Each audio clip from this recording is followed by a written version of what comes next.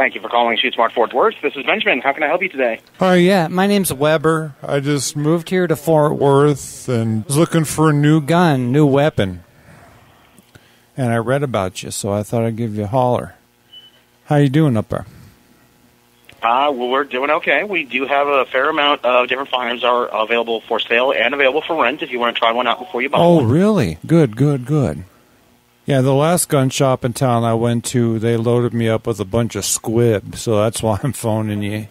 Yeah, as far as I know, most of the uh, the ammunition that we get is Yeah. manufacturer fresh. Um, We do Oh. actually contract through a uh, Oh. reloading company, but we've had almost no squibs from them whatsoever. We've, I think, been in business with them for three years now, and I think we've had maybe one or two.